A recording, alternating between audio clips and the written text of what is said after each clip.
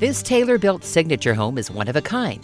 Seated on a large, fully fenced lot, this magnificent four bedroom, three and a half bath home boasts 10 foot ceilings throughout, first floor laundry with heated floors, and family room with granite wet bar and two wood burning fireplaces with gas starters.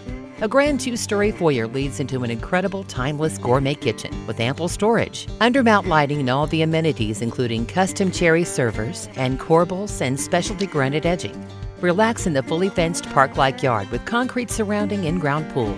See this Grand Island beauty in person when you contact Joseph Tomasello.